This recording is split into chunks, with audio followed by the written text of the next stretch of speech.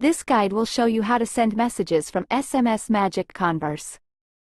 Log into your Salesforce org using valid credentials. On the SMS Magic Converse homepage, mouse over on the Dashboards menu on the left pane. Click on the New Message button. Select the contact to whom you want to send messages. The phone field and sender ID will get auto-populated. You can type your message or select a predefined message template. Click on the template icon to select a predefined message template. Click on the Send button to send the message. Another way to send messages is through the Converse Desk. Click on the Converse Desk menu on the left pane. Click on the New Message button. Enter recipient's name or phone field. Type your message in the field or select a message template. Click on Upload Files to upload a file that you can share with your message.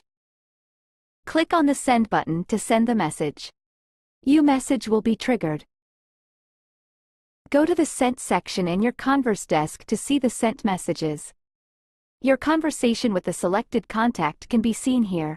You can also send messages from this conversation window and see the responses you receive to your messages.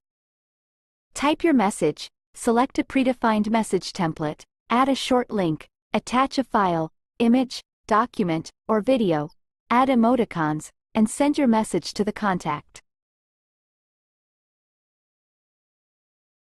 In this way, you can send normal and multimedia messages to your contacts using SMS Magic Converse. Thank you.